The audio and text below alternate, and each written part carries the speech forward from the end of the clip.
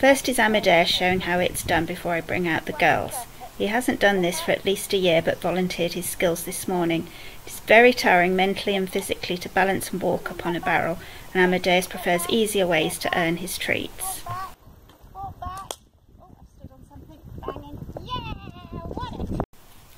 First let me tell you about the barrel. Mine came from an animal food place and is supposed to be used for storing horse feed. Whatever you use you need a barrel with straight sides.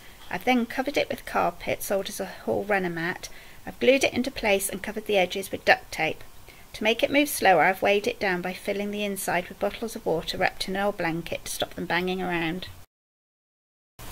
Next up is Bohemia on day two of the training because I forgot to tape the first. She's been putting her front paws on the barrel but I'd like to encourage her to stand upon it now. Very brave girl, aren't you? Oh, yes, very good. I'm using a treat to lure her onto the barrel. In the beginning you could use a click or a marker word when the dog puts their feet onto the barrel, but in later training it would be a distraction. I feed her food constantly from my hand to keep her in place. Always reward while your dog's feet are on the barrel. Later I will build up to standing further away and rewarding less often. Building her confidence is the key thing at the moment. She's free to jump off at any time if she wants to, although I do support her under her tummy once she is standing. Remember to keep the time spent on the barrel short as it is always very tiring for the dog.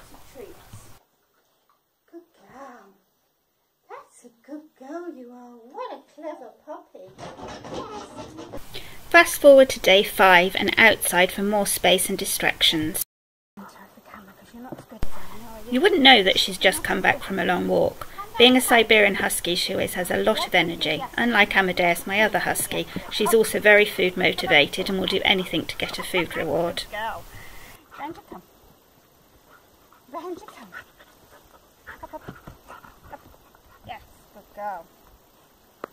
She's got much better at getting onto the barrel and standing up on her own now. Very fat.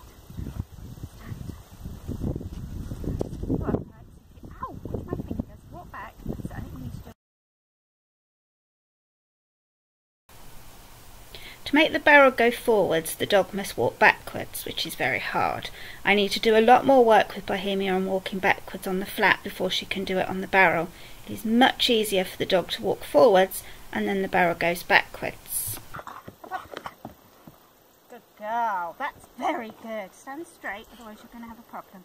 Let's try, ouch, walking the other way. You just have to walk forwards then. Step. That's better, isn't it? Oh, I had been using a pole to limit how far the barrel can roll backwards, but it didn't do a very good job, so I fetched a concrete block to act as brakes instead. My legs stopping it rolling forward. That's quite a long way off. I think we need a string, don't we? I'm dropping treats all over the floor. It really, really, really isn't helping. And you're such a good girl it's Dizzy would have gone for them up.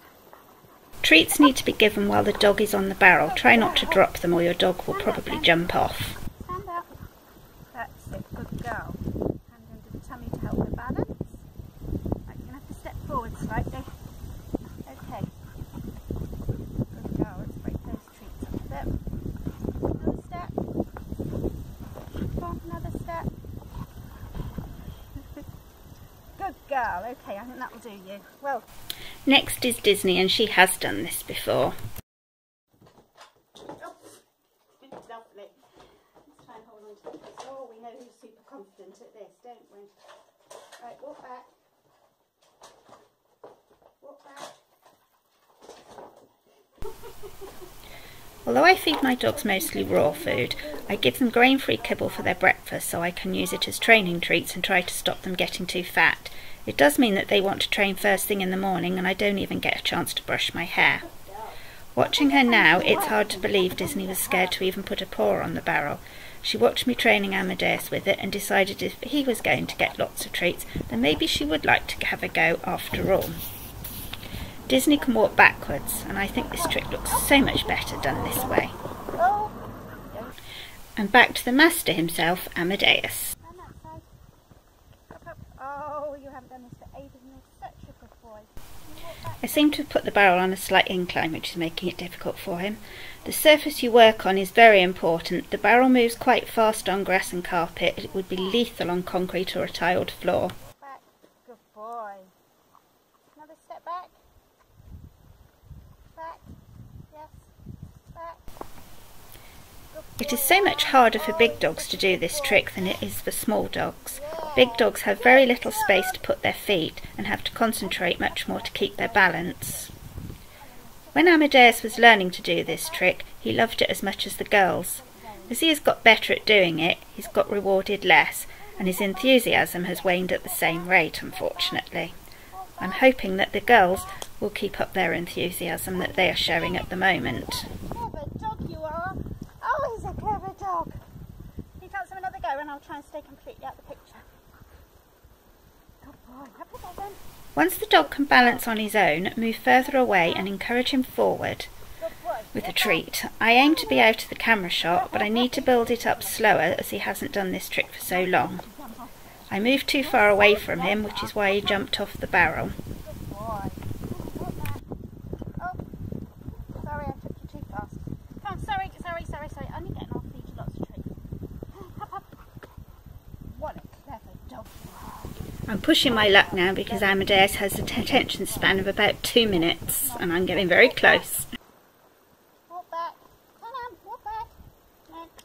Lost interest.